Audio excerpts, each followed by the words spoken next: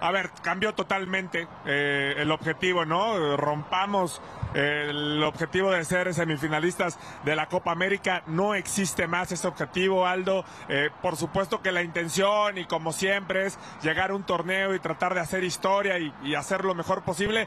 Pero hoy el objetivo de la selección mexicana se llama Proyección 2026. Es decir, la cabeza está puesta en el Mundial, no tanto en la Copa América, donde se buscará hacer un gran desempeño, se buscará hacer un buen papel, pero lo más importante, Maffer, es que los jugadores eh, eh, empiecen a, a tomar experiencia, muchos eh, jóvenes, ¿no? Hablamos de un Malagón que a lo mejor ya lo vimos bicampeón con el América, pero que con la selección todavía no tiene esa experiencia, tendrá que empezar a asumir ese rol. Un Santi Jiménez que hasta hace algunas eh, fechas FIFA se peleaba ese lugar con Henry Martín, hoy es el titular indiscutible. Un Edson Álvarez que por más que ya tiene dos mundiales, hoy ya es el capitán, tiene otro tipo de compromiso. Hoy creo que la apuesta de la selección es dar experiencia a estos futbolistas, más allá de pensar en el resultado pensar en el 2026. Sí, y dicho por el propio Jaime Lozano y el Julio Davino el 10 de mayo, ¿no? Cuando dieron la lista.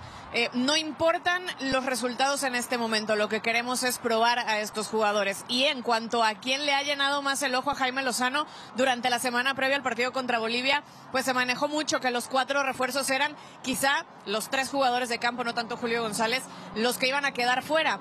Y cuando hablamos con Jaime nos dijo que era todo lo contrario, que tenía mucha duda, que sobre todo eh, Jordan Carrillo le había volado la cabeza el verlo trabajar, el ver eh, todo lo que había tomado de experiencia en, en Europa.